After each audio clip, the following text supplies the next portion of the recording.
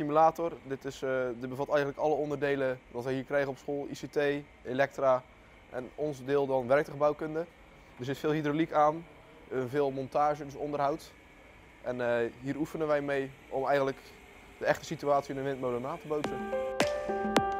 Bij Scalda in Vlissingen, een school voor middelbaar beroepsonderwijs, wordt een nieuwe lichting studenten opgeleid tot windmolenmonteur. Want het grootste Nederlandse windpark verrijst op dit moment voor de kust van Zeeland. Het Deense Ørsted, dat het park aanlegt, streek onlangs neer in Noordseapoort. Maar het windpark levert de komende jaren veel meer werk op in de regio. voor ons is interessant dat er 25 jaar onderhoud aan gepleegd moet worden. En het allerbelangrijkste is uh, het oplossen van storingen. De molens zijn zo groot met zoveel vermogen dat uh, elk uur dat ze in feite stilstaan, dat is redelijk kostbaar.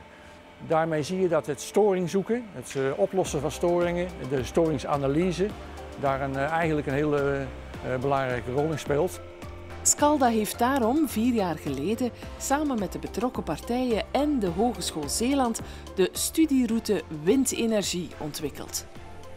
Ik vind zelf het bijzondere ervan dat wij heel veel medewerking hebben gehad van eigenlijk de, de, de hoofdspelers in deze sector, met name Ørsted en Siemens, die samen met ons het uh, onderwijsprogramma hebben vormgegeven en ook uh, dat eigenlijk ook nog uh, monitoren.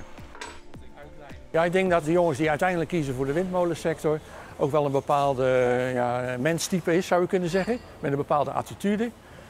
het is natuurlijk werken op hoogte, je moet sportief zijn. Het is ook niet altijd regelmatige tijd. Een storing kan ook s'nachts zijn. Daarnaast wordt er ook wel een behoorlijke fysieke gezondheid eigenlijk uh, van je verwacht. Uh, om dat beroep ook goed te kunnen uitoefenen. Het park voor de Zeeuwse kust wordt in fases aangelegd. En ook voor andere locaties bestaan inmiddels plannen. Genoeg werk dus de komende jaren.